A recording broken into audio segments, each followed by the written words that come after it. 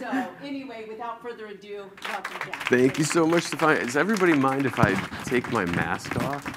Are you guys good? All right, yeah. Oh, that's so much better. Holy cow. Well, I'm really glad to be here, you guys. You know, last year, um, obviously right before Chicago, because uh, I've been doing Zooms for, I mean, almost two years now and everything was fantastic. I think that week we came in on a Monday. I had 13 lectures um, by the time we left on Saturday.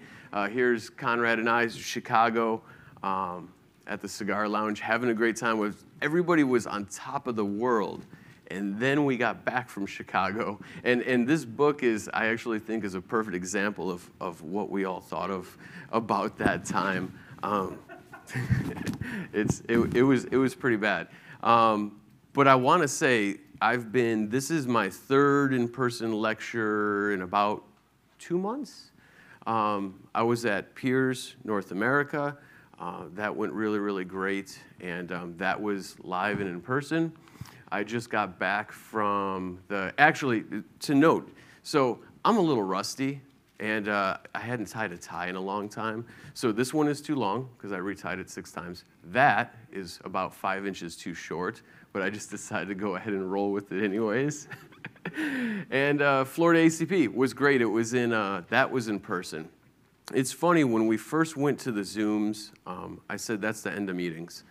Because, it, you know, you guys to take time off of work, to come to the meeting, for you guys don't know what the manufacturer side, if you've ever seen what these guys go through to put together one of the meetings as far as the exhibitors floor and that, it's unbelievable. They'll get here a whole week early. Same thing with Chicago. Um, and so and it's a massive expense.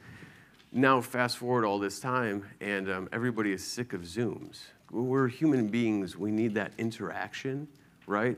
In that time you thought was just getting drunk at the bar, is actually really, really important. It's the camaraderie and the relationships that we build amongst each other. So now I'm really seeing the meetings come back and everybody's really, really excited.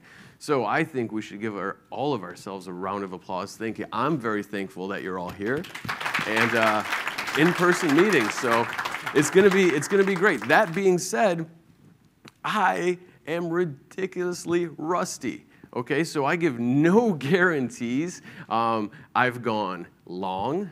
I've gone short. So this might be 30 minutes short, it might be 30 minutes long, but I'm gonna do my best because my timing, like my tie, is completely screwed up because it's been so long since I've actually done this in front of people. Let's see if I don't kind of slip over my words and, and get tongue tied. So, of course, from Absolute Dental in North Carolina, 25 years in business, uh, NADL, NADL Laboratory of the Year, I believe that was last year. Um, that's where I'm from. Also, home of the Advanced Restorative Team. And today we're going to talk about a lot of great things. A lot of these things we'll talk about, we actually have guides on our website that you can go to. Um, you could download some of the techniques if you're wondering how I went through everything to get to that hybrid. It's all on the website. You can download them, they're all there. Um, we have everything from surgical all the way to uh, uh, restoring a hybrid from front to back. So CONUS is on there. There's all types of things. Um, you just go to the website and you could find those on there. So we're going to talk about zirconia today. I've been talking about zirconia forever, but I put a whole bunch of different information in here, some tips, some tricks. We'll talk about myths. I still hear the same thing um, that I've always heard about zirconia, and it's funny, as, as a product, I still got to say it's one of the most misunderstood. And um, a lot of the old zirconia myths have still followed it today, especially in the clinical world.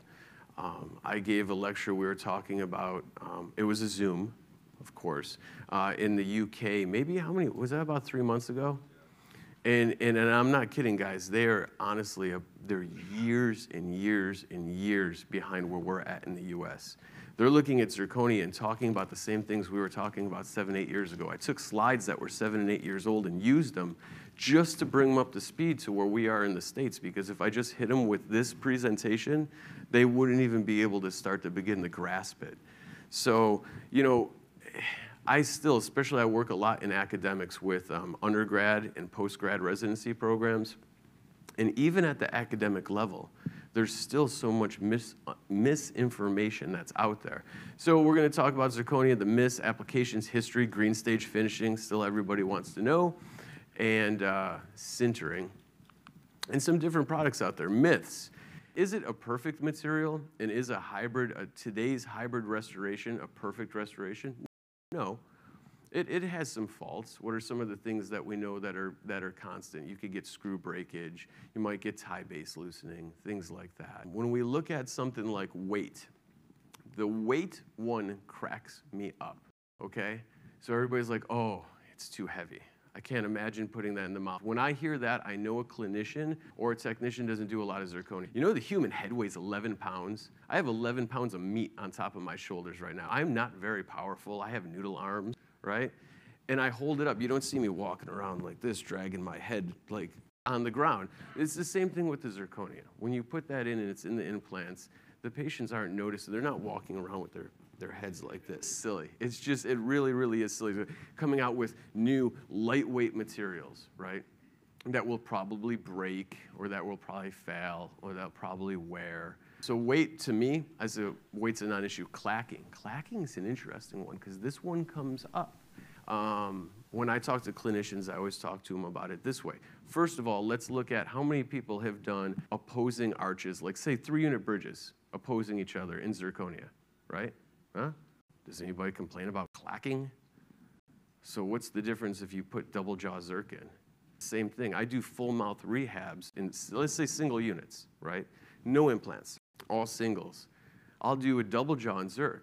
Nobody walks around and complains about clacking. It's only when we talk about hybrids. Clacking can also be caused, this is very interesting though, if a patient is over opened so that's something you want to watch. So other than normal sounds in the mouth, if they're over open, they're going to hit early and prematurely, and you're going to hear click, click, click, click, click. That's because the bite is over. And so it's very, very important that you want to make sure that that vertical in the bite is correct, because that can happen. Um, too opaque, we just know it's not true.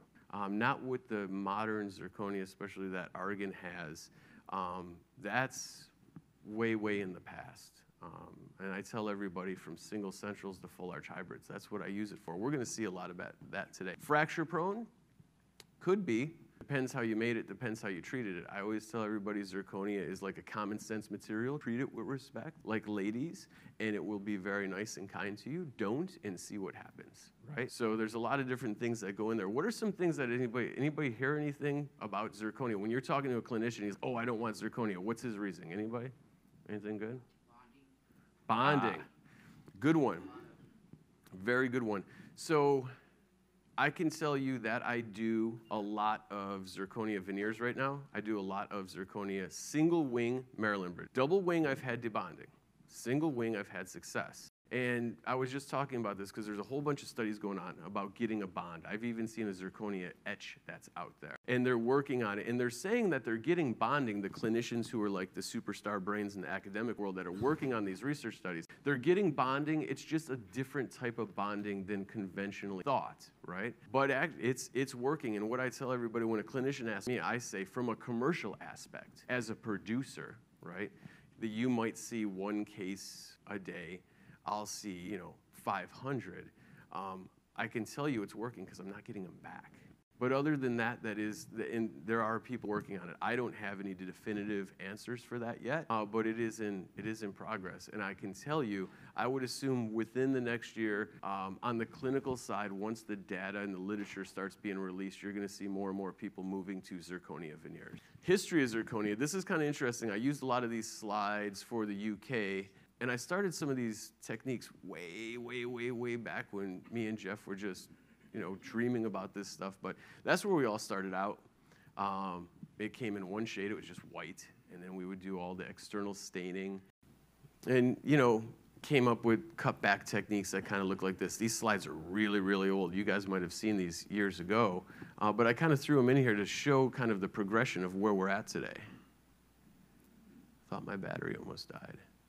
Um, you know, same thing with anteriors.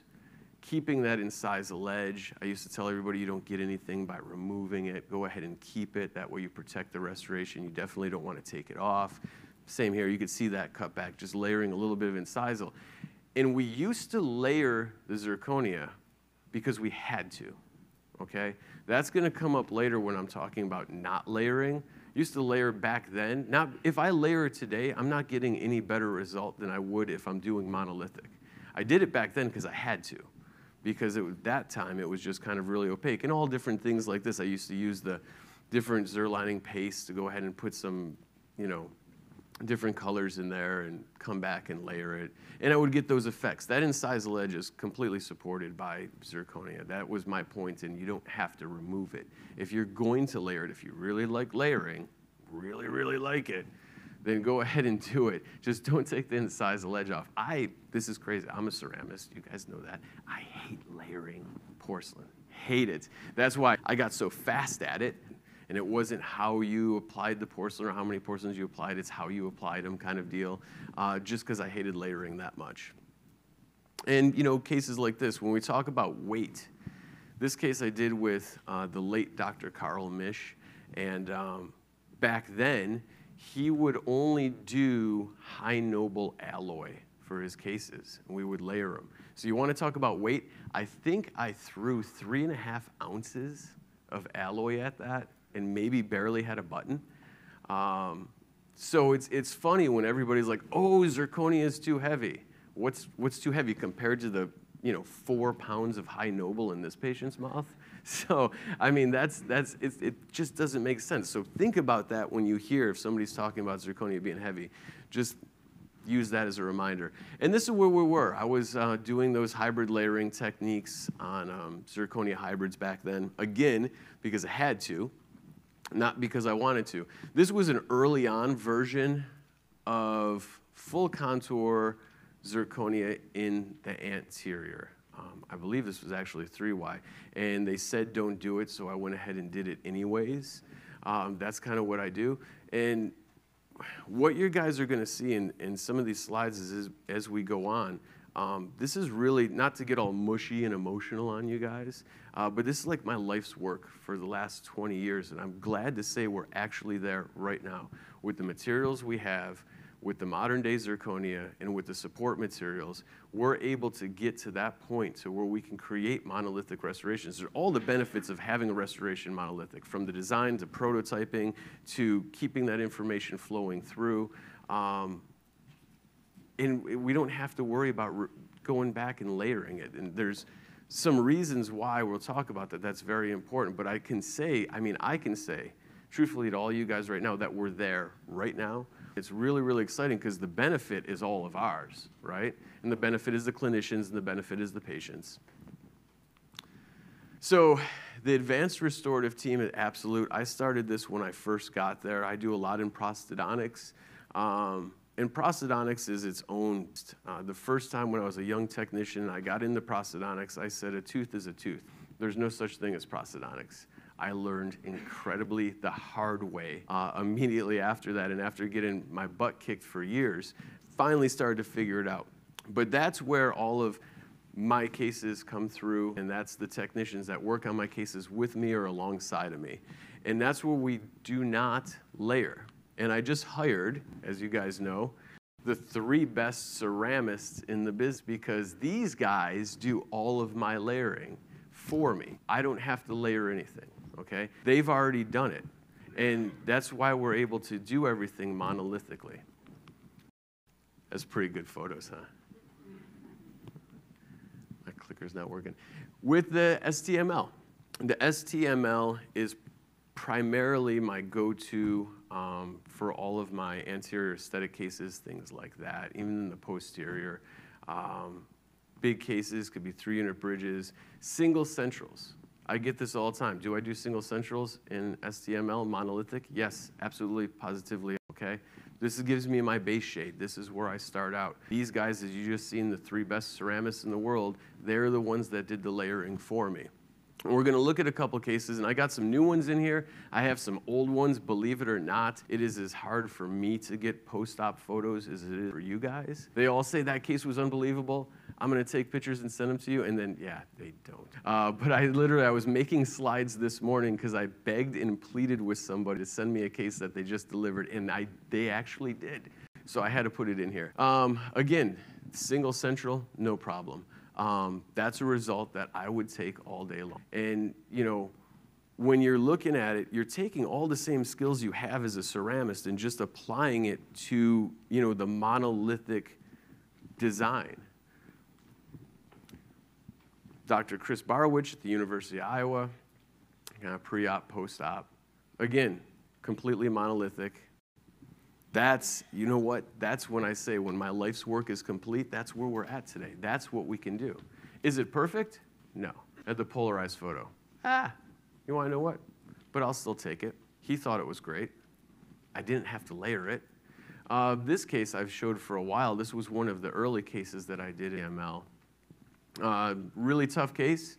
You have custom abutment in number eight. We're going to have prep on number nine. Oh, by the way, it has a big metal post and core. That case right there, that sucks, right? When you get that, you're like, what am I going to do with this thing? Um, you know, and super translucent, beautiful tooth. We'll go ahead and do our design. On this case, I actually used the white plus because our zirconia is so translucent now. It has lost the masking ability. That's fine. I don't want it. I could add it.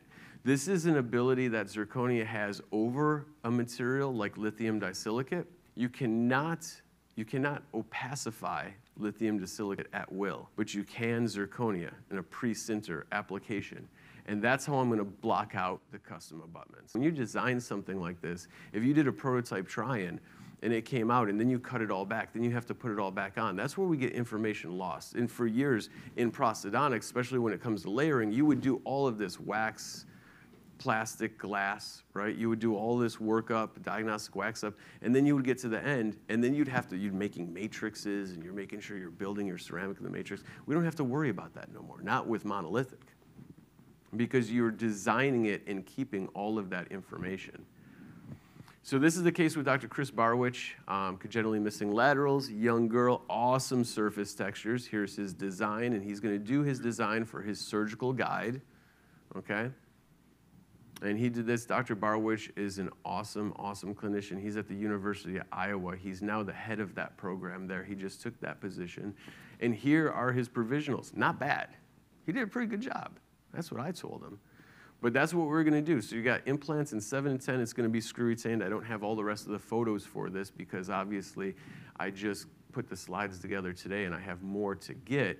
But I wanted to show you guys this result because it was very, very exciting. Note the surface texture anatomy. Let's talk about that. When I do an anterior case, if it's going to be a single central, let's say a single central, I look at it for 20 seconds. The first three things that pop into my mind are what I go ahead and copy. I don't stare at it and stare at it and stare at it and stare at it and stare at it and lose my mind staring at it. I look at it, I see it, three seconds, I'm out of there. And then I'll go ahead and apply. The first, number one everybody's seeing is the, I mean, the teeth are beautiful, but it's the surface texture and the anatomy that's on there that's really catching your eye. So we have to make sure that we incorporate that into our restorations. And there you have it. That's monolithic STML, screw retained on custom abutments, mind you. And the real thing that's just driving Dr. Barwacz nuts, um, doesn't bother me, but it's driving him nuts, is he had some tissue creep right there, right there. Otherwise, this, I mean, look at, we still maintained our papillas right there and there, but right there it crept on him. Um, if you can argue me a reason that you should still layer, I would love to hear it. All right, shoot. Ah, we're going to get to that. We're going to get to that. So that's a good one. That's a good. I was I was ready. Look at. Did you see? I was ready. I was like, let's do this. You can't you can't beat that. And that's where we're at today, guys. And that's what's so so exciting.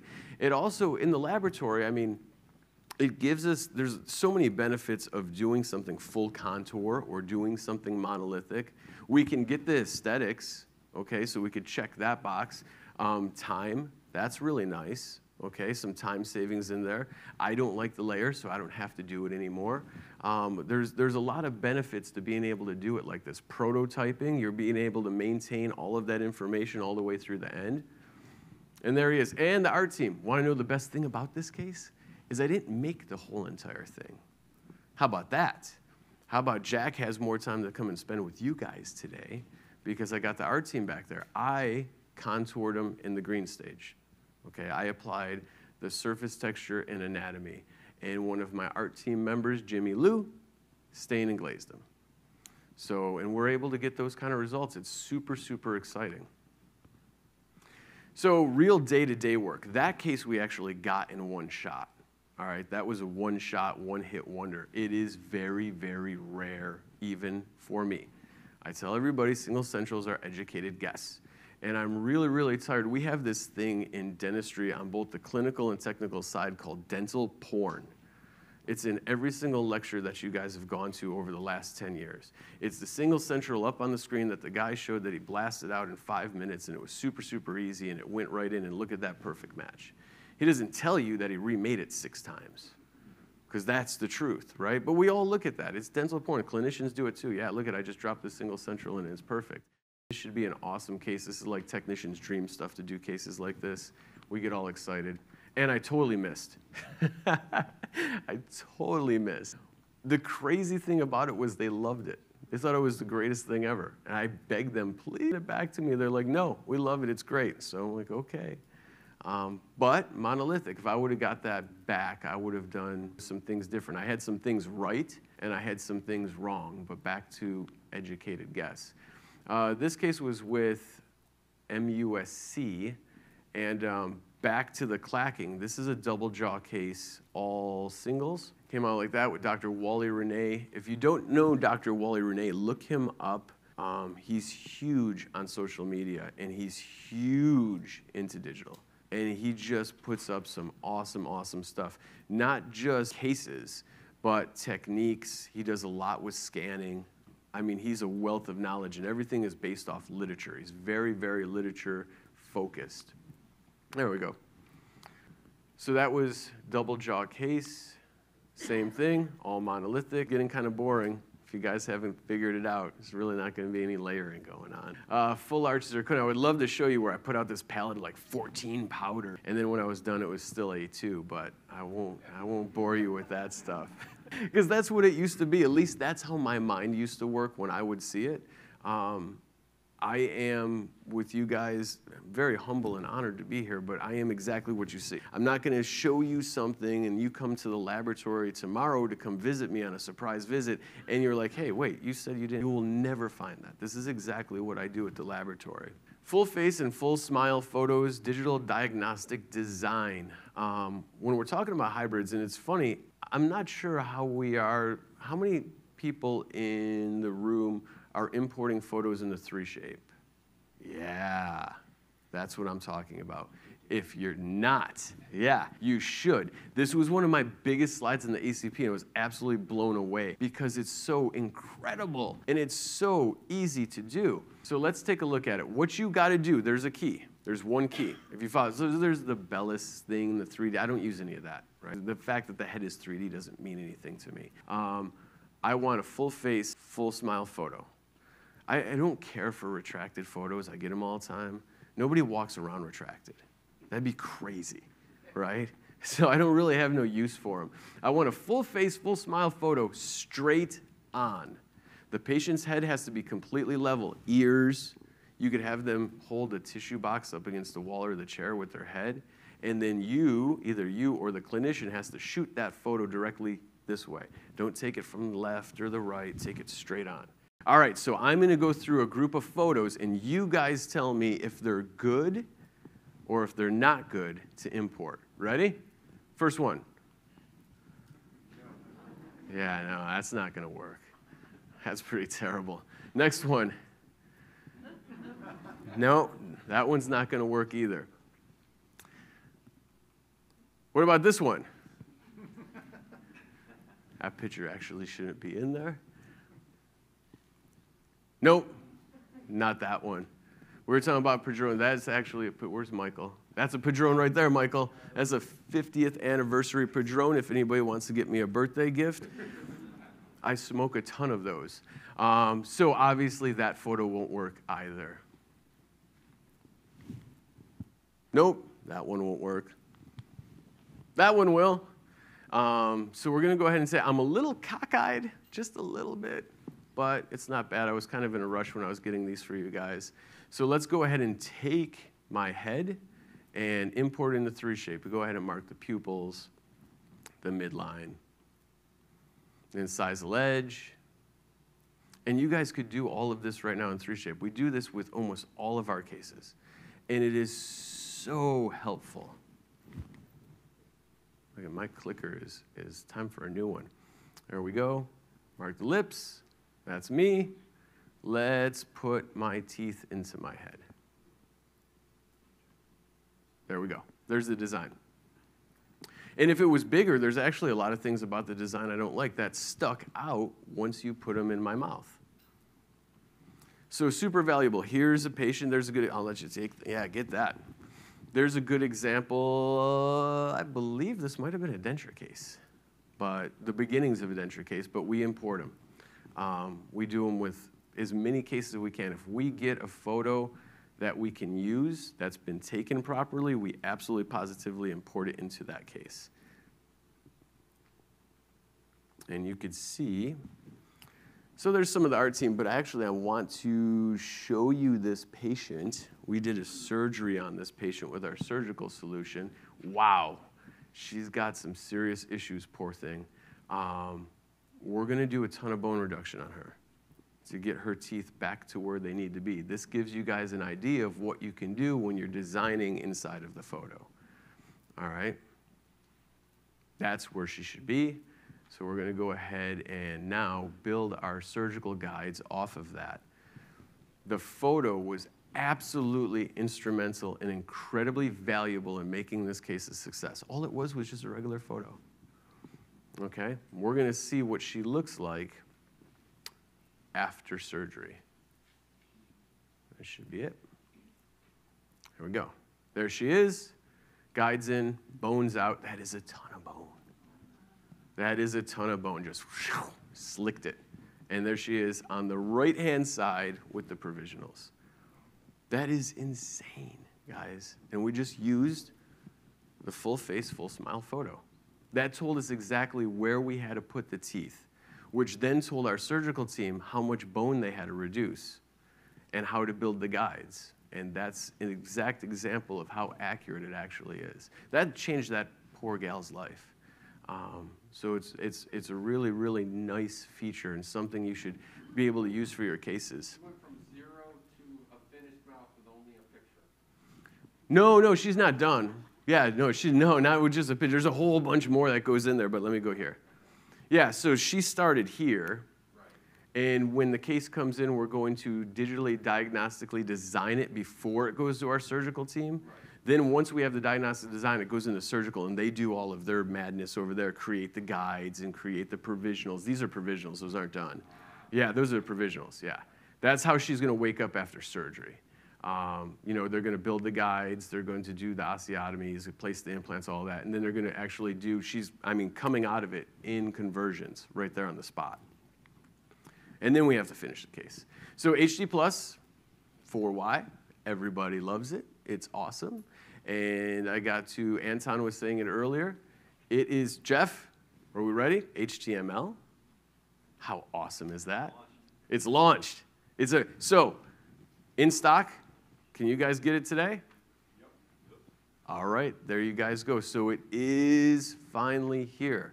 Um, you guys can get it. I actually myself am in the process of swapping us out and getting the ML. So we're swapping out a little bit of HT Plus for ML and uh, getting it in stock. I still don't have it in stock myself. That is what we're working on now is getting it into the laboratory. I've had a lot of beta samples and things like that. So it's here and it's ready. Now, Jeff is probably gonna kill me for showing you guys this photo. Remember that place when we were doing that thing? We took that picture, we said we'd never show anybody? yeah, he has no idea what's gonna happen next. All right, here we go. One more. HT plus ML hybrid, okay? This is gonna be, this is gonna be my go-to for the hybrids. Um, and it's formulated because, you know, when you do a hybrid, um, like especially an FP3, they're massive, right? So Jeff and Paul and the team over there at Argen have worked on the formulas to idealize the color and the translucency for hybrids. So this one is coming. Can they get it now? Yeah, I kind of put them on the spot. A Couple months, okay, a couple months. Still working on it, but that is coming. Um, so now with those three zirconias, it should cover everything that comes into the laboratory. Um, we are about, I gotta say, about 95% Zirc. We're super progressive. Um, the stragglers would be in that grouping. Some lithium disilicate, like you said, sir. Clinician really isn't buying the zirconia veneer thing. No problem. What am I gonna do about it until research and data comes out? So we'll do that in lithium disilicate. And there is some stragglers of metal ceramics, unfortunately, I'd have to say. Um, I had a case, I actually didn't get the photo onto this presentation, um, but there was like no room. I mean, there was no room. There was a three unit posterior bridge on implants, no room. And I knew it was gonna break. I went ahead and made it anyways. Okay, let's see. Guess what? It broke. So, so that case will be metal occlusals and the whole nine yards is gonna be metal ceramic. Um, but there's not that much that I could find that comes into the laboratory that we can't use one of these three zirconias for. And that's why our, our production rate of zirconia, monolithic zirconia, is so high. Because if it comes in the lab, it's going in one of those three. And we'll kind of take a look here. Um, I've showed this a lot when we're talking about what do you stain and glaze it with, what do you do, how do you get the character, how do you get the effects. We're going to talk, we're going to look at hybrids and everything, but I'll give you guys like a quick overview of that. Uh, this is Dr. Goldenberg. That's a acrylic denture on top. Dr. Mark Ludlow, again, all monolithic, because I don't have a reason to layer it anymore.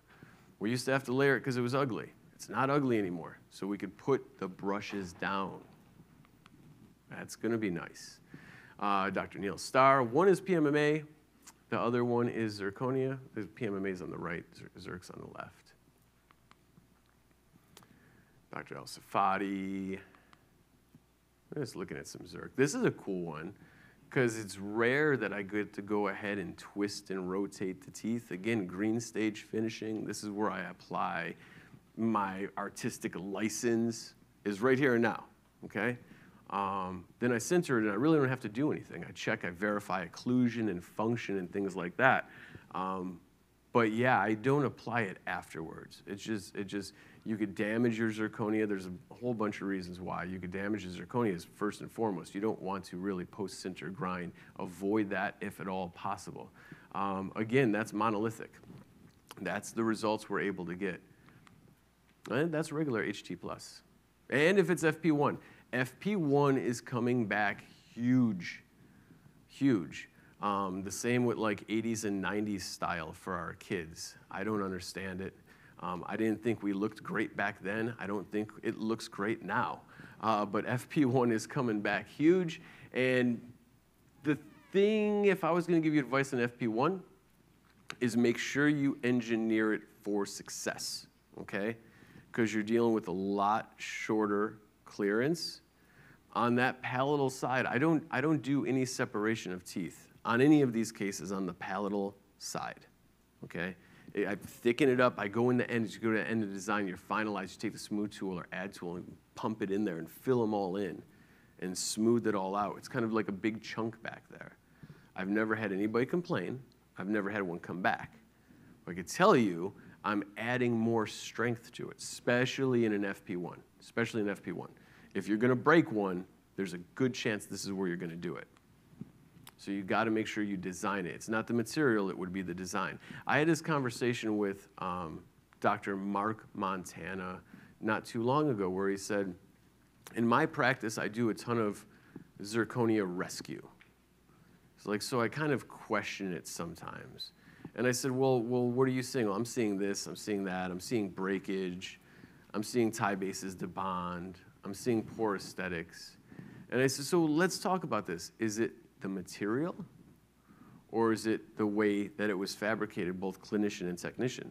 Because it could go wrong either way. I said, so, so is it fair to say it's zirconia?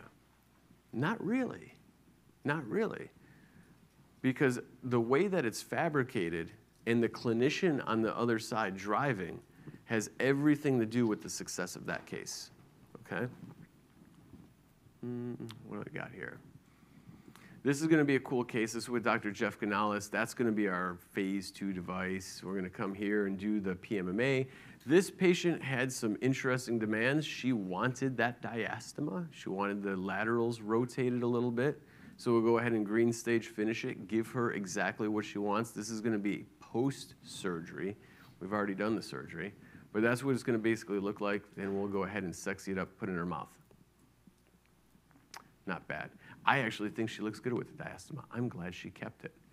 Uh, this case is super cool. Ethnic tissue, okay? Super hard to do. Super, super hard to do. Um, again, all monolithic. That's pretty good. I would argue it's cool here because we got these different pigmentations. This is an interesting case study. Um, when this gentleman was maybe about 19 years old, he had uh, jaw cancer in the mandible. So we went to UNC. They did the whole jaw in a day, took it out, put the leg bone in, put the implants in. Then he disappeared. For like six years, they didn't see him again. They couldn't get a hold of him. Then he just shows up back up randomly. He's like, ah, I think I'm ready for my teeth now. Um, so we went ahead and made the teeth. I can be honest, I'm, I'm light. I'm definitely lighter than his gingiva in the top. And this is as dark as I could get it. Uh, we have the cool different variant pigmentations here and there, kind of pick up some of that detail, lots of texture. Uh, but I was still light, and the reason why is for lack of a black shade. Um, and that probably would have popped it up a couple more notches, but it's still not, it's not a perfect result, but it's still a pretty cool result. Yes, sir. suggesting your clinicians to use for shade guides, especially for the um, tissue. Ah. shade, because I- Good question. I'm a clinician myself, and I've been looking for some type of shade guide to communicate. To communicate, yeah. So you could use, um, I tell everybody, as long as you, if you use something the laboratory doesn't have, make sure you send it. Because it's, tissue is like almost all, custom all the time. Um, so there's like a, even a Lucitone denture guide works. We have Lucitone guides we give out. Um, there's the old Ivoclar tissue guide, gingiva guide that's out there, that works. Um, if you take the pictures, as long as we have a reference to go back off of in the laboratory to look at the photo, to look at the tab, and go ahead and create a mix, and a mix not powders, I'll show you, um, that really works. Take pictures of it, even if it doesn't match, because it's probably not going to. Tissue is the hardest thing in the world to do. All right, single centrals are hard. Tissue's ten times harder. I mean, it really, it really, really is. So you take, go ahead and put in the mouth, take some photos, and then send that away, and we'll go ahead and try to mix it to customize it. Um, same thing, green stage finishing. Uh, I love it. Here's this is old school. Um, you guys probably already have seen this case. It's uh, going to be a wax tooth setup into, and this is prosthodontics, so it has to be exactly the same all the way through. Okay, so he did this. Then we're going to go to plastic. Then we're going to go to Zirc. And these, a lot of times, I just set them edge to edge for the photo. The occlusion's not like that. I just want to see the teeth from the top to the bottom. And there we go. Yeah, this one's kind of an older one. I believe that this was actually with an early version of ML. It was. When like, don't show anyone this, and then you Yeah. at some major conference. yeah, as I actually, and, and I, I, I did warn him that I put the hybrid Zirc in there. Um, normally I don't. I'm just like, surprise! Uh, but this time I kind of gave him warning. Oh, there we go. All right, that's nice. Nah, not bad. I'll take that. He was very happy. This one's super cool. How about that? Um, this one I actually don't have delivered yet. Um, I have done so you guys could see it. I don't have it delivered. Uh, surface texture anatomy, in this instance, and know your clinician, right? I got a lot of guys that I can't do this for. And there's, I got a lot of patients that don't want that. Okay, so you got to know who you're working for. But if they do want it, oh, by all means, put it in. Um, it is just awesome. And I do all of this in the green stage finishing. This has a little bit of everything. Um, primary, secondary, tertiary, stippling, there's verticals, there's horizontals, it's got it all going on. Um, so very, very cool case. Again, um, a rare treat to be able to do this. There it is sintered.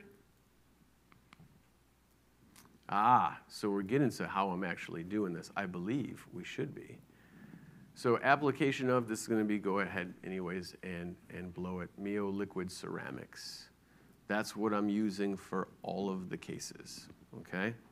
So there's, there's your answer. I'm waiting for it. We're still not there yet. You can tell I'm a little bit rusty. You don't really have like the whole thing memorized. And I'm like, well, I thought it was already there. But it's all right. That's what I'm using. Um, this is prior application of structure, okay? And that's the application of structure. Structure is going to give us our texture, basically. We're going to get all of our depth in color in the shades, but the structure is going to give us our texture. Notice I didn't put any on the teeth. I don't really need to put any on the teeth. I just need it for the pink. The teeth are already beautiful as it is, and there it is all done. Um, really, again, you can't beat the results that we're able to achieve today. If we go back, not really to date myself, but I would have had to take that case, I would have had to cut it all back, then I would have had to come back and put all of that information back on. Do you know how insane that is? We'll, it, we design it, it comes out, it's there, and then we're going to take it off. Jack, do you shoot all your own photos? Huh? Well, some of these ones I did, you could tell that I took some on white and some on black because I forgot I took the other ones on black. Um, but we actually have some social media girls too that will take the photos. If I take it to them, like I take it to them in the morning, they'll shoot the photos and I pick it back up to them. Um, don't ask me about dental photography, and there's real masters of it. I am not. Uh, it's a whole science. I say take a course. There's some incredible technicians that have mastered the art of dental photography. By all means, go see them um, because that's a whole nother obsession you can get into beyond the teeth themselves is the photography. Powdered ceramics are dead. Here we go. Now to answer your question, there it is. Eee, ugh, yuck. Want to know why I know powdered ceramics are dead? Well, because Mike Tyson says so. And I'm not going to argue with Mike Tyson. Are you? No. So don't do it anymore. Take the powdered ceramics and, I don't know, sell it on eBay or something. You don't need it. Wait, he's got a sweet diastema still. That thing's awesome. The tattoo's kind of fading though. He was super, super nice. Um, he's gigantic still, but he's like my height. But my hand disappeared in his hand. I was shaking, like I was scared, like I was five years old or something. And he's like, "You want a selfie, man?" I'm like, "With Mike Tyson? Yeah." Gingival ceramics gone wrong. I actually I collect these all the time. I'm going to do a calendar for charity. Um, just go on Google. There's crazy zirconia images all over the place on there. You can find them yourself. And as always, I tell you guys, I'm super, super humble. I'm super blessed and thankful to be here. Um, I don't do this to kind of poke fun at anything. I just use it as a learning exercise because as technicians, if we see it, then we'll understand it. Um, if we see what to do, we can do it. If we see what not to do, we won't do it. Uh, so that's kind of where we're going to go. Uh, graphic images, I've used a bunch of these for years, so some of these are probably definitely repeats for you guys. I got some new ones in there, and I had a bunch more new ones, but you know, we got ones like that. That's, that's an old photo I've been using forever. Uh, what, now here's one for the, for the layering fans. This one was layered. How awesome is that? not so awesome. he's laughing. He's like, yeah, it's not so awesome.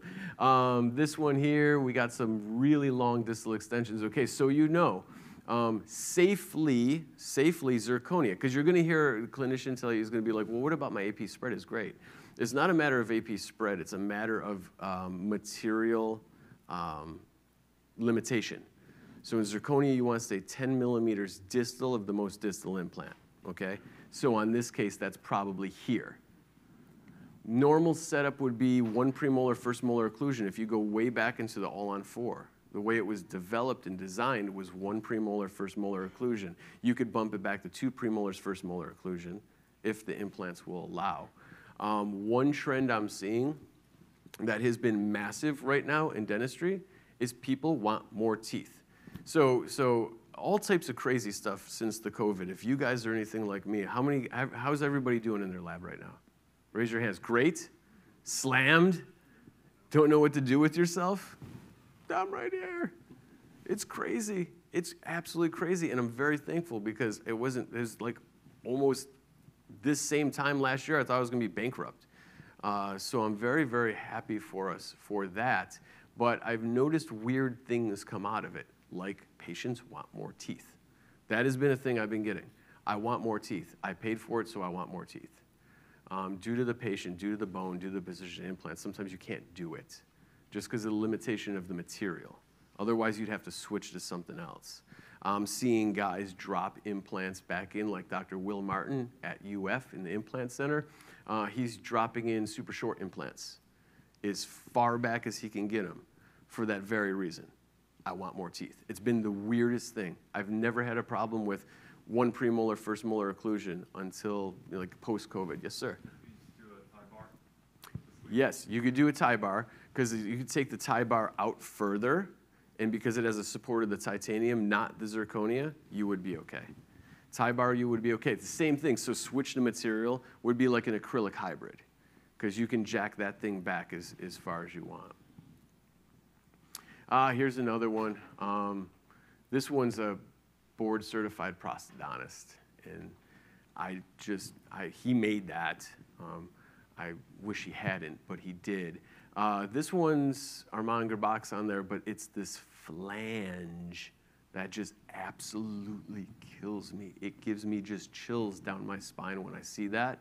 Um, and you know, sometimes you got to do what you got to do. Sometimes, you know, you're stuck and you got to come down, a little bit of an implant exposed, all of that. Make it as cleansable as possible. You guys know all that. But that, that is not a zirconia hybrid. That is a zirconia denture. And it's going to be strapped to implants. And then, here's another one. Uh, this has got bar in it, but look at the flange. The flange is really, really bad. And I actually got the meet, I met him at PEERS North America for the first time. I had the blast, literally the best time with him in the world. I think we were at the bar till like 2 in the morning with this guy, Dr. Tom Jackson. And he invented the auto flosser, which is the coolest little gadget you've ever seen in your life. But he just posted this picture, and I had to scoop it up for him. So, see the implant right there? Have you ever removed a fixed hybrid and had the implant come out with it? That's nasty. That is nasty. And look at look at the crap underneath that thing, right? That's what will happen if you flange them like that. So please don't. If you ever if, if you ever do anything for me, make me a promise you won't do that. All right? Well, remember that. I could be dead and gone, and then you guys remember. I remember. I promised Jack I wouldn't do it. Don't do it. So now let's get to the Miyo liquid ceramics. We'll start there, green stage finishing. You could do it, you could not. Um, LMT, they just came out with the average cost of zirconia hybrid in the industry. And I think it was like 3600 I don't know if anybody read that. They say it was about 3600 bucks. Okay. I'm, believe it or not, I'm not much more than that. Because the materials have advanced, because of the great guys at Argen, I've been able to bring my pricing down because I have less hand processes in it. But not way down. I'm not going to do the race to the bottom thing.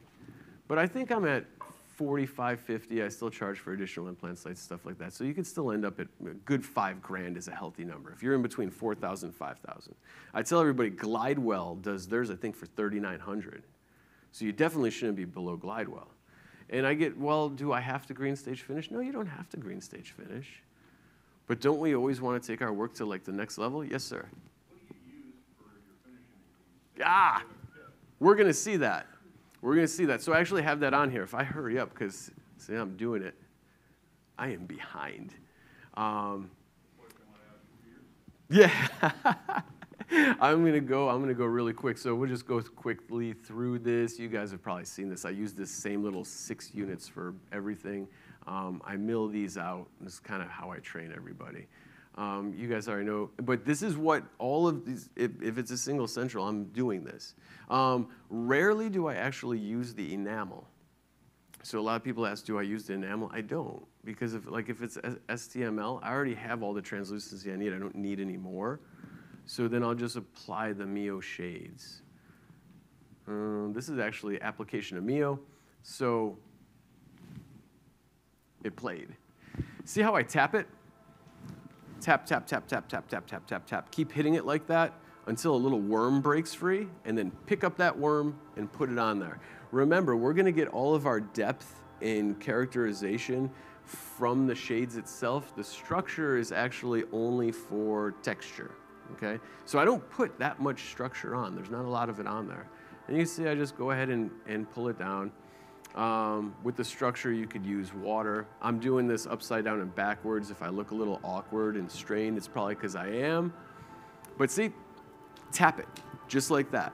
That's how you're gonna pick it up, okay? Flatten it out. I like to flatten it out till I get about a millimeter's worth of thickness. And then just take your brush and tap, tap, tap, tap, tap, tap. And that little worm will break free and you scoop it up and you put it on.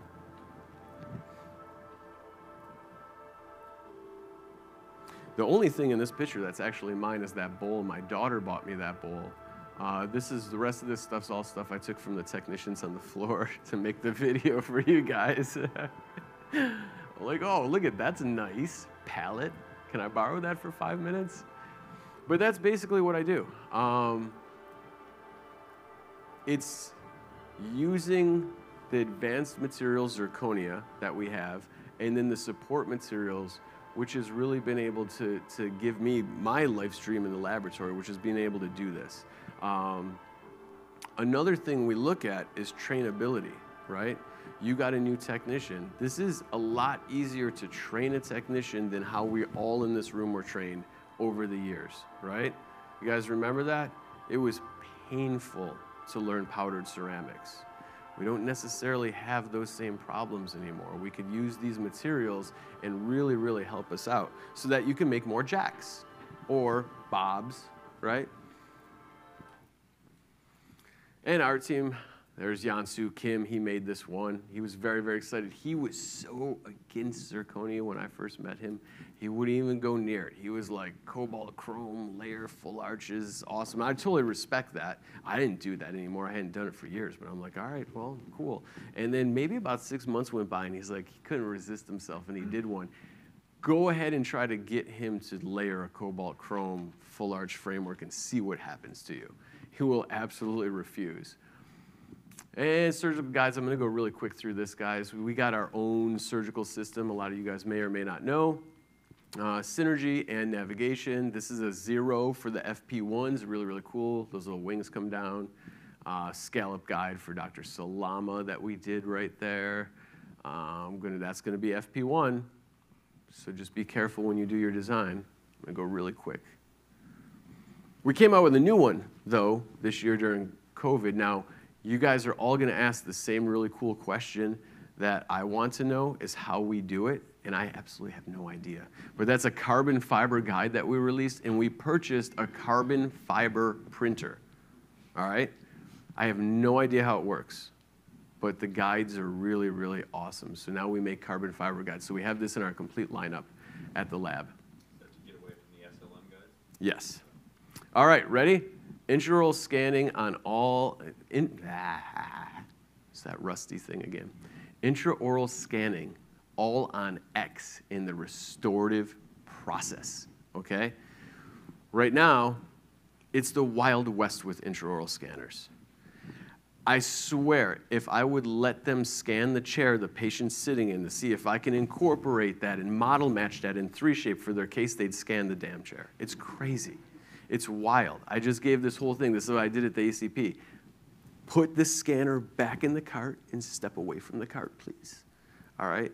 So I can tell you, like these guys, I can tell you that full arch, all digital workflows are coming. I'm working with Dr. Ludlow um, and several others. They're the masters of the scanning. All I do is do what they tell me to do, so don't look at me like I'm a master.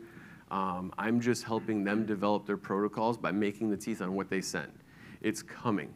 It's almost there. There's going to be some stuff released later in this year, September timeframe, um, that I'm going to be participating in. But it's like this close. But until then, don't do it. We could use the scanner to gather bits and pieces of information to help us along the process. Like if you want to take the surgical conversion and put it on the master cast, and instead of making a putty, you want to scan it, that works. You can incorporate that back into your design file, right? But if you go ahead and you just go, I just won't, I don't even accept them. This is like a double jaw, all the scan flags hanging out. They're like, hey, let's go for it. No. Uh, but I do know multiple clinicians that are working on the protocols right now, and they're pretty much done with great success. Okay? So it's almost there. This Jack is going to tell you, yes, I am going to tell you no. Okay? Trust me, trust me, you don't want to do it because it is just going to end bad. This is what I told. There was a guy as the ACP. He's like, I see all these guys doing it on Instagram. When can I do it? Can I do it right now? I told him, absolutely not. He said, but I see it on Instagram. Stop watching Instagram, okay? Because anything's possible on Instagram. Trust me. It's, I mean, it's cool, but anything's possible. So stop watching Instagram and know you can't do it because if I do one, and it's a catastrophic failure, I could say that I did it all under the banner of academic science and research. If you guys do it in your laboratory with your clinician in private practice, that's just bad, right? So I am patiently waiting along with you guys to when we can say we can start doing this accurately. Because we're one foot in and one foot out, right? We're, when it comes to hybrids, we're kind of digital, but we're kind of not. We design them digitally, then we take them out, we put them on a model, we check and verify everything, or we make a verification jig, right? So it's, it's a lot different than, let's say, a 300 bridge. PMMA, look at my A fell off. We'll go through this very quickly. I've been using Tempostatic forever. There's more Tempostatic, more Tempostatic. Prototyping options. You can make pretty one, you can make an ugly one. Make sure you prototype, make sure the patient signs off on it.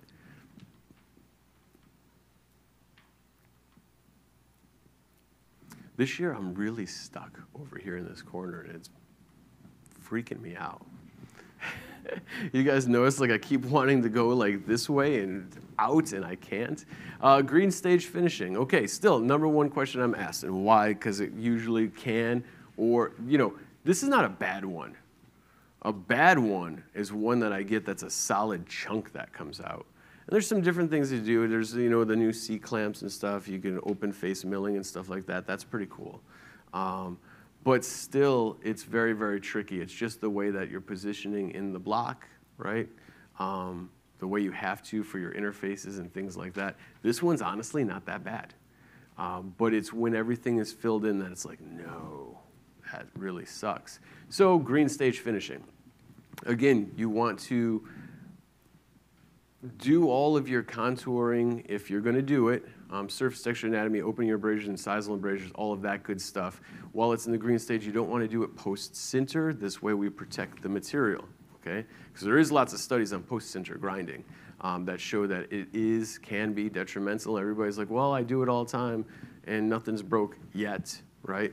If it doesn't break in a month, maybe it'll break in two months, maybe it'll break in six months. Why risk it?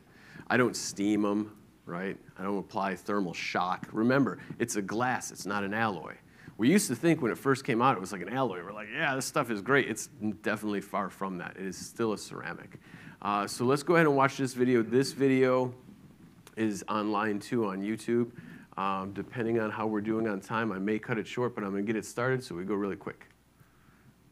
After all these years, still the number one question I'm asked all the time is green stage finishing of zirconia.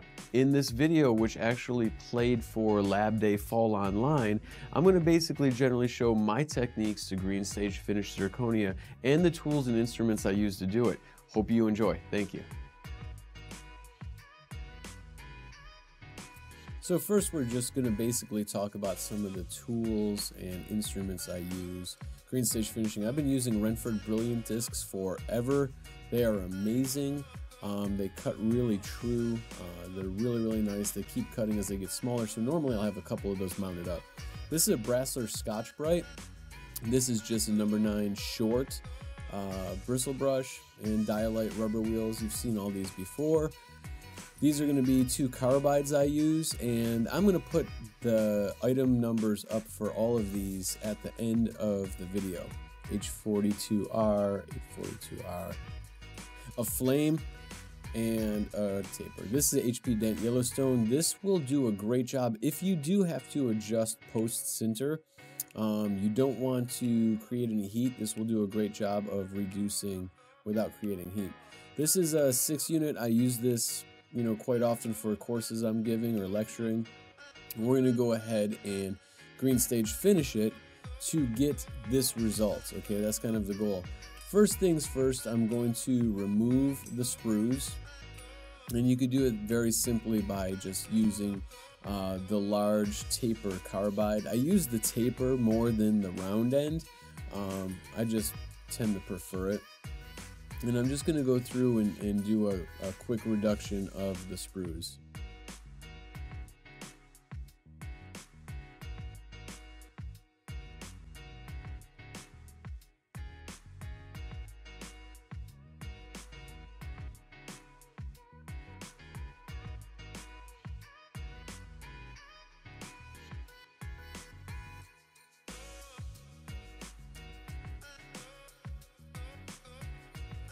I'll go ahead and dust it off. Once that's done, we'll be able to start our green stage finishing. First thing I do, using the Renfert Brilliant disc, I'll cut into the incisal embrasure about a millimeter. Um, remember, everything that we're going to do is going to shrink. So even though it might look a little drastic now, um, we want to over exaggerate everything. And I'll go for the incisal edge uh, embrasure first, then I'll go ahead and start opening up my gingival embrasure. You know, you got to remember the mill gets us about 80% there, the rest is up to us. And then this is where you could actually go ahead and apply your artistry. The most important part of any uh, zirconia case, especially in the aesthetic zone in the anterior 6 through 11, is always going to be gingival embrasures. Um, it is the make it or break it for a case. Uh, it's the part that really brings it to life um, compared to, you know, zirconia. It's very easy to get that kind of chunk, one piece chunk look um, if you don't go in and open up those gingival embrasures manually. And you can see here, I'll go ahead and start opening those up. Um, I'm flipping back and forth from the incisal edge to the facial view because basically if this was a hybrid, I'm looking for the screw access holes and making sure that I don't collide with one because that would obviously be catastrophic and we'd have to remill our restoration. Now I'm going to come back through and I'm going to open those up a little bit more. And sometimes everybody asks me, how do you know how deep to go? Um, you know, I tell everybody when you get a little bit uncomfortable, you know, you can go pretty deep on these gingival embrasures and not have to worry, especially on a hybrid. Uh, there's so much mass and so much zirconia that you don't have to worry about that whatsoever. I'm going to go ahead and you can see I'm rolling the disc. I'm not actually cutting into the zirconia. I'm kind of rolling it left and right. Again, just concentrating on those gingival embrasures. I spend most of my time in that area. This is the flame and I'm gonna go in and again look at how deep I'm digging into there you guys. I'm really kind of just opening those up. I'm going to accentuate them as much as possible. Now dust off your zirconia frequently. This way you can see what you've done and we're going to go ahead and leave the left hand side untouched and just go ahead and concentrate on the right. This way you can see the difference between the finished side and the unfinished side. Now we'll go ahead and just give the teeth a once over, kind of smooth out any mill marks that may be there.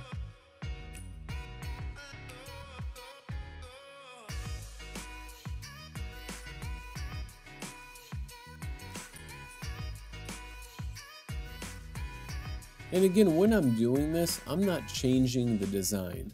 The design has already been established. What I'm doing now is just bringing it to life. So I'm not going to go through and say, I don't like this lateral or I don't like this cuspid and put my own spin on it. Um, the, the position of the teeth has already been predetermined for me. I just need to apply my artistry. And I'm going to go ahead and use that taper carbide to remove some of that bulk that is on our gingival tissue. Kind of beginning to contour that in. Um, tissue has as much texture and contour as teeth do. And it's not just one solid flat piece. You know, and there's different styles and, and the amount of um, texture that tissue has varies from patient to patient. But it absolutely is there, so keep that in mind.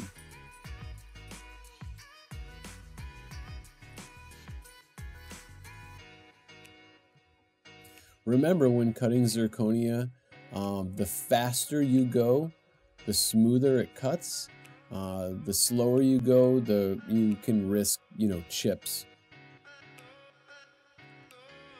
Make sure your burrs and diamonds and carbides that they're all running true. Your wheels.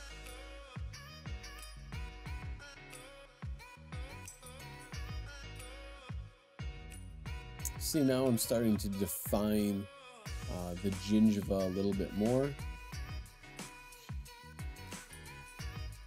Starting to give it some texture.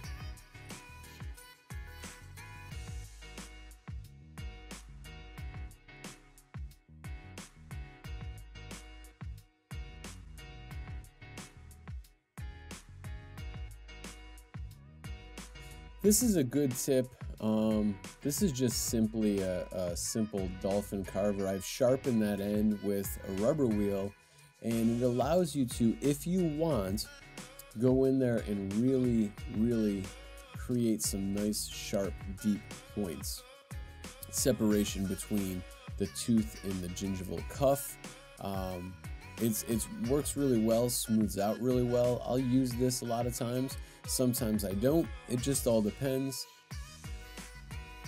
You got to remember, fine, fine, fine detail a lot of times is lost through the sintering process because of the shrinkage.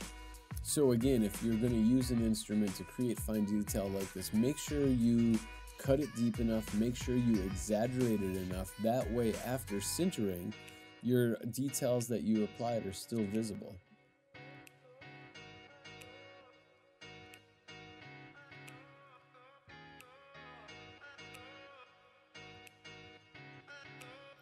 And we're really starting to come out nicely at this point.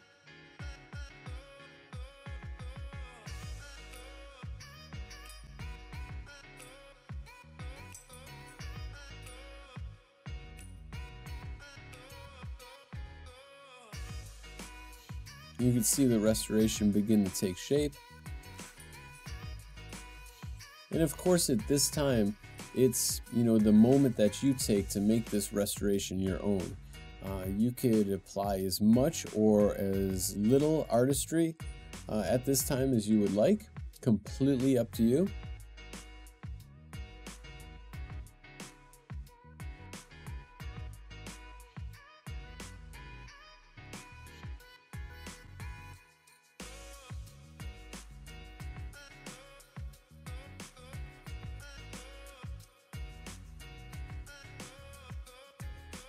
Once you start working on it and you really start getting into the details, it's easy to lose yourself in your work and kind of just forget about time.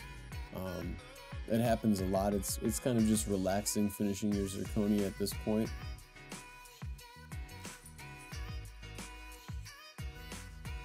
The more work you put in at this time, the better and obviously the less work you'll have to do post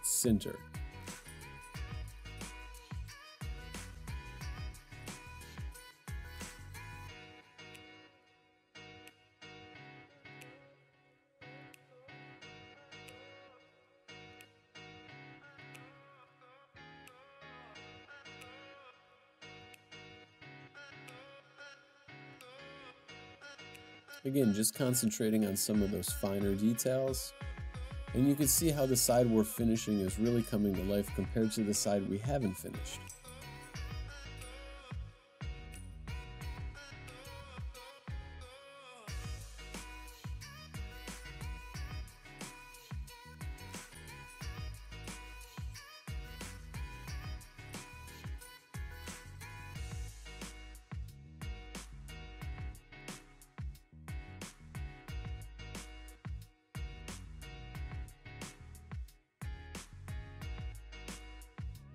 It's going to be surface texture and anatomy. And there's going to be three different types, primary, secondary, and tertiary. Uh, this is really kind of the funnest part, I think, um, as there is an infinite number of ways that you can apply that surface texture and anatomy to that individual tooth. Um, it could be how long you take it, down the length of the tooth. It could be how deep you cut it in. Uh, it's really sky is the limit um, as far as what you want to do. I could take these six teeth and just by applying the surface texture anatomy differently, I could keep doing the same case over and over and over again and it would look different each time. Um, it just depends. The length, the, the depth that you apply it, how aggressive that it is applied, you know, can literally give you an endless amount of possibilities. And this is what really kind of defines the restoration, brings it to life, and, and this is where you really have the, the chances, an individual artist to shine.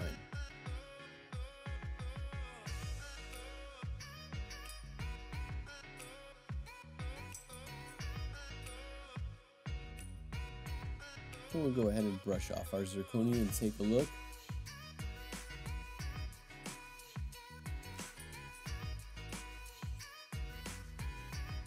And tertiary anatomy, there's broad horizontal striations, there's narrow horizontal striations, and then of course there's stippling.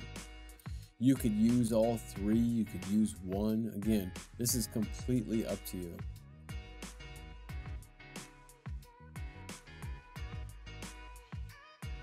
Just remember again when applying that surface texture and that anatomy to apply it deep enough and aggressive enough so that it'll show up after sintering.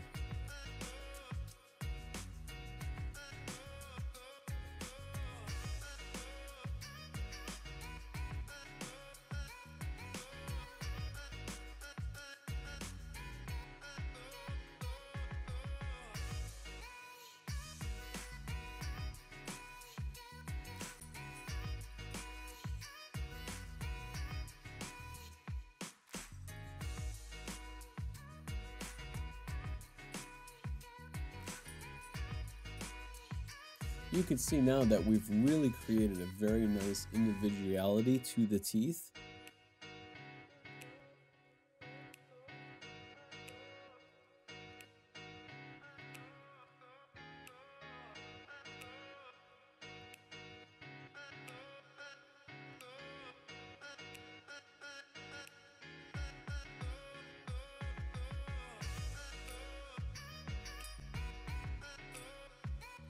Again, depending on your case, depending on your patient, your doctor, you know, how, where, and how much uh, surface texture anatomy you apply is completely up to you.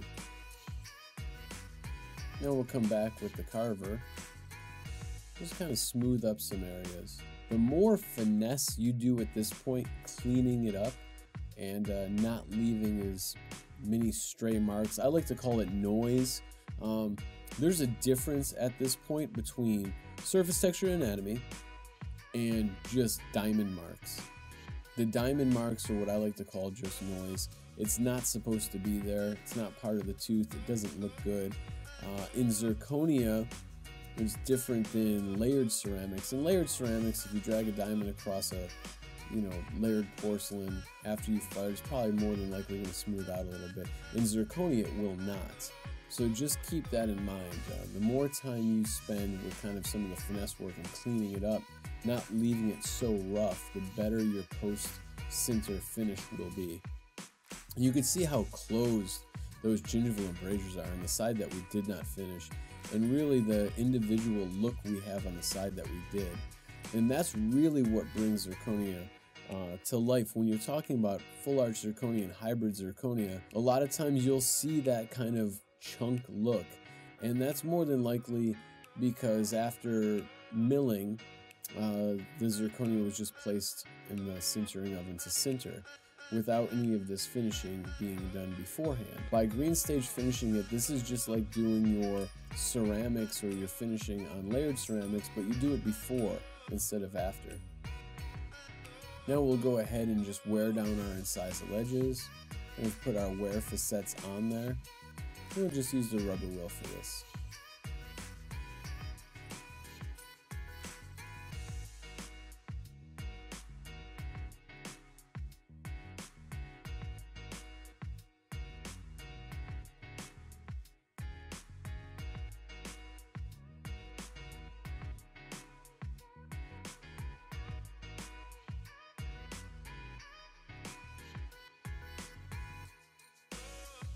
Like to use the black pencil to go ahead and mark the highest point of the incisal edge. That way when I do wear down my inside when I do wear down my incisal edges, I know that I am not shortening them. As long as the black pencil remains, I have not shortened that edge. This one I'll go ahead and do a wear facet, and you can see how I kind of illustrated that. It's a push and pull up, and that will give you that teardrop shape. You will push the diamond in and peel it straight up, and that will create that nice diamond shape, that teardrop shape that is commonly seen with a wear facet. Here you can go a little bit deeper, thinly come across.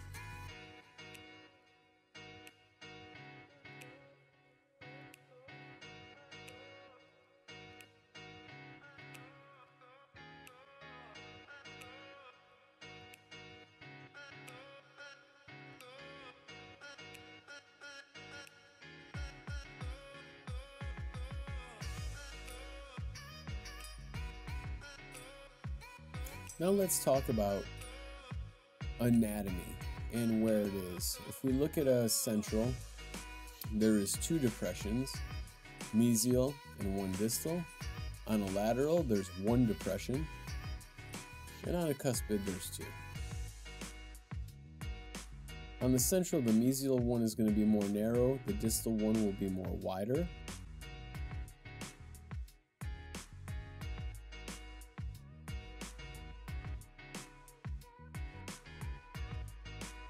We can use a Scotch Brite. Scotch Brite is, I mean, it is just, it's pretty awesome if you haven't used one before.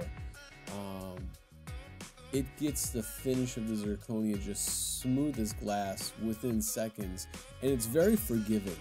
Um, although it looks like it's taking massive amounts of material away, it's really not. It's just smoothing everything up. If you haven't tried one of these, uh, pick yourself up one and give it a shot.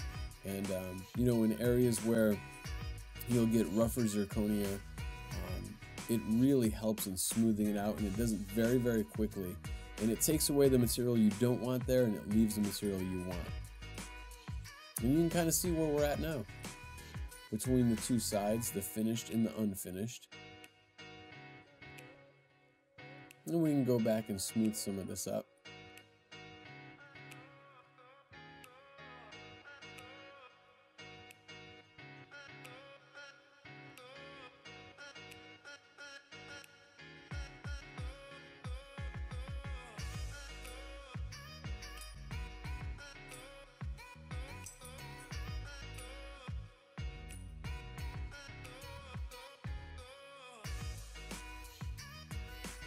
And there's a good idea of kind of the result you can expect. Again, look at the concentration in the gingival embrasures and what a difference that makes. Thanks for watching.